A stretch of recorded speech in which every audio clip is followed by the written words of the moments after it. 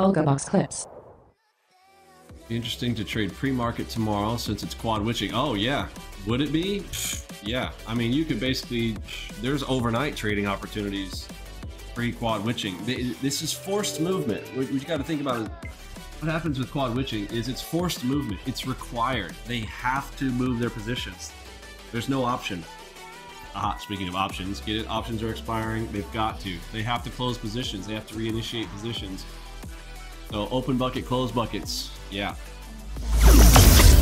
Press the like button, share, subscribe, and comment below with your thoughts and what you've learned.